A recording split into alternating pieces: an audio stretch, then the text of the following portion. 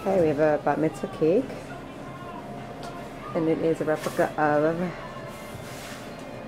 the uh, bat mitzvah girls dress, and it's a masquerade party also, so there's a pretty fancy crystal mask, feather.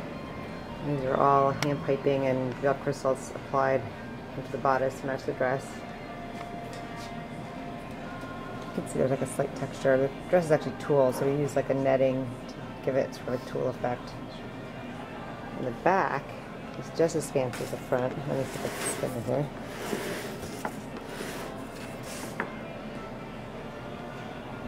See, a little bow there. And then the back of the bodice is a corset.